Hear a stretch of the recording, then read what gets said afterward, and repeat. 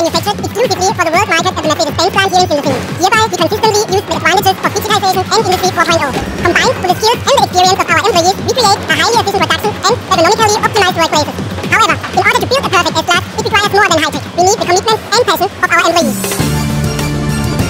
New S-Class sets new standards in safety, connectivity, and on the way to automatic driving. Why shouldn't we transfer that to our production lines? The new S-Class might find its way from the end of the production line to the dispatch area all by itself. And why not, in distant future, Mercedes-Benz cars find their way from production directly to customers' garage.